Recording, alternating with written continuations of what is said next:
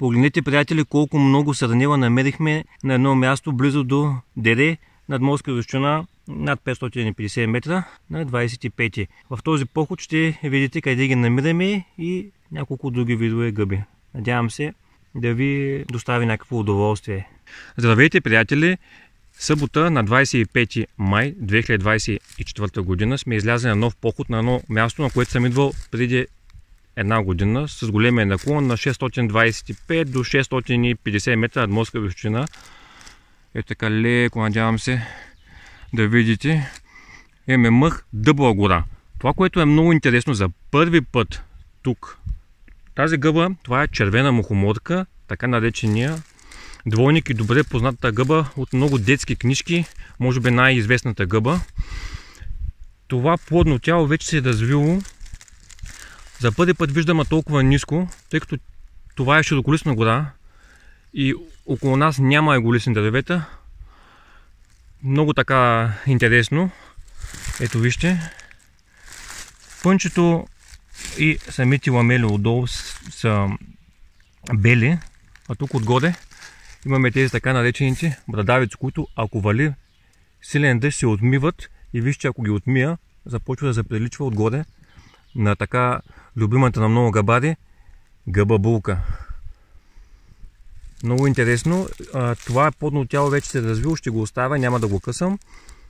Това е слабо отровна гъба, не е добре да се, да се бере, но я използват за различни лекове, лекарства. Продължаваме за а, манатарка. Надявам се този поход да стане успешен, да видим. Искам да ви покажа тези горски пътхутки, когато остаря да видите как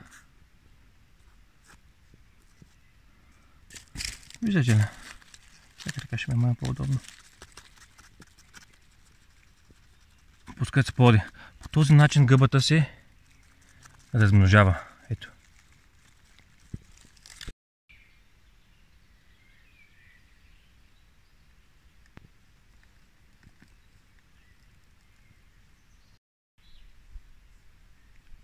Погледнете само каква красота.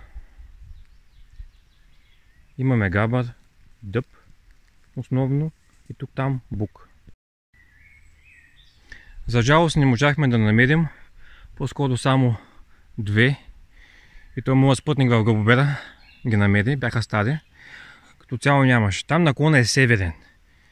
Още един път ще кажа, че днес сме 26 и явно просто идва студено. В момента сме малко по-високо, 650 и решихме да отидем на места, подобни на ето тази полянка. Току-що излязахме от това северното място.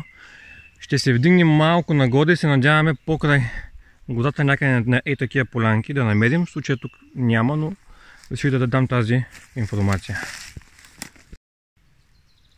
Ходим, бродим и моя приятел намери едно находище от манатарки, така мога да кажем, тъй като тук имаме една, две, там малко по-в...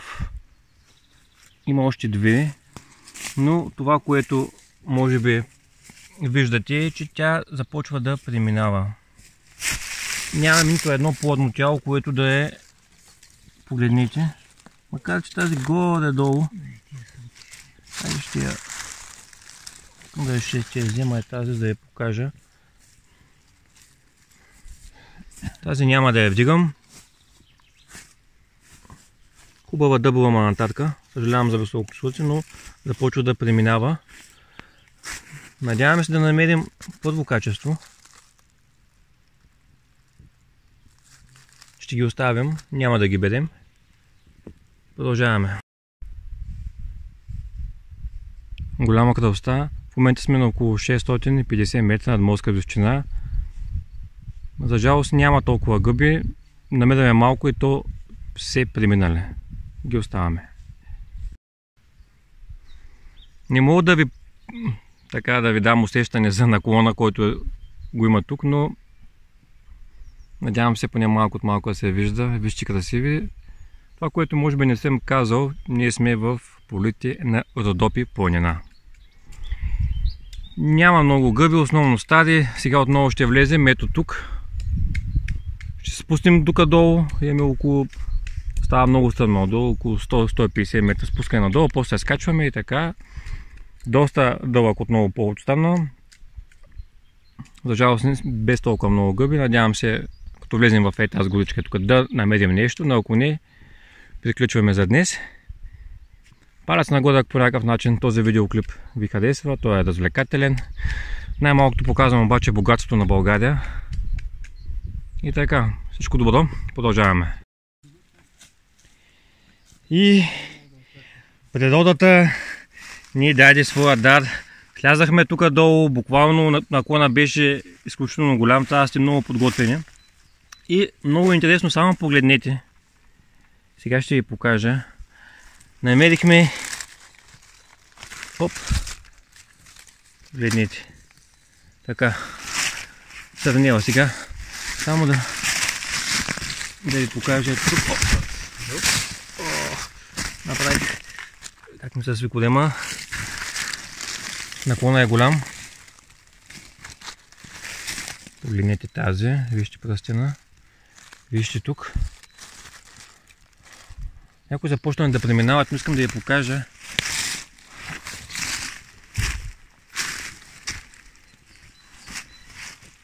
Тази видяхме в далечина. Погледнете колко е голяма. Ето как излиза.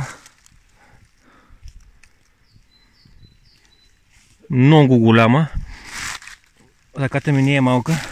Диаметъра на шапката е над 20 см.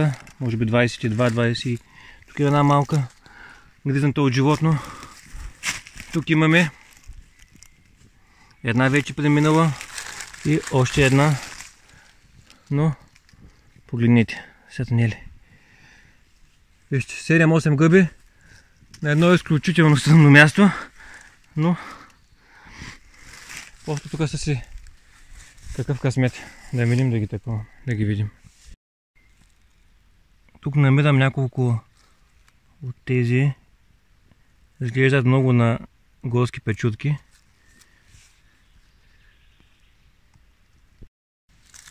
Тук имаш и малко по-млади плодни тела, Направих един напречен разрез и, за, и така е, в момента сме около 2-3 минути. Седим, оглеждам, искам да разбера точно каква е. Не ми мириш точно на типичната... Тоест печутка е, но самата миризма не е типична, така да кажа. Има някаква лека разлика. Не знам на какво се дължи. Иначе вижте как се затваря, после се отваря и видяхте преди малко. Иначе ламелите вътре отначало започват розови, после стават по, по, по-тъмни и накрая кафеви, когато гъбата преминава. Намираме в една смесена, смесена гора, но то се, но то се е дере. Възможно е да, да има вид печурка, но самото име да е на латински. Ще говоря с по-опитни габари, Евентуално ще добавя вече в описанието, тъй като в момента не съм сигурен. Няма да ги беда, но направих снимки, с които да мога, когато се прибера, да разбера повече за тези хубави горски гъби. И малко сменихме мястото. Решихме след една почивка да сменим и да видим. Това, което виждате пред мен е булка, която вече се е отворила. Сега виждам, че да, ето. Просто в клипа имаше една червена мухоморка. Ето време е да има една булка. Вече започна, но още е хубава свежичка тук на сянка. До дъба. Ето.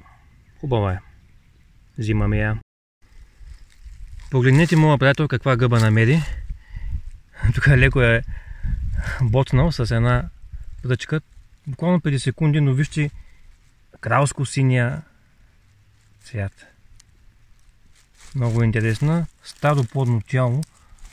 Виждате ли колко е червена? Не мога да определя добре, но прилича на... Може да е стара огнена, може да е пурпурно червена, макар че отгоре Много интересно. Значи, вижте така, ако погледнете, ако махнем това синьото, много заблуждава. Намериме в широколисна гора, на ръба. Няма да е такова, ами нека да се пуска спора да се размножава. И така. Вижте какво виждам тук. Някой я взел от някъде, тъй като не съм аз и е оставил. Много интересно развитие и претърпява тази гъба. Прилича на сиво-жълта манантарка, но за да се определи правилно е добре да се направи един напречен разрез.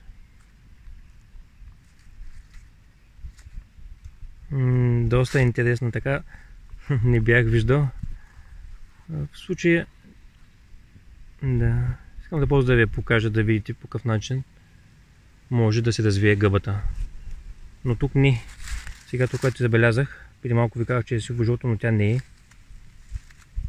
Ето тук виждаме, т.е. ако ще, ще очупя с ръка. Да. Забелязвате, ако се завижда добре, за сиво жълтата мантатка не трябва да имаме това посиняване, контакт с въздух, т.е. това не е тя. Просто а друг сходен вид. Това е хубаво да се прави напречен разрез, както бях казал. Мхм. Интересна гъбка. Много мантатки се срещат в нашата красива страна. И така.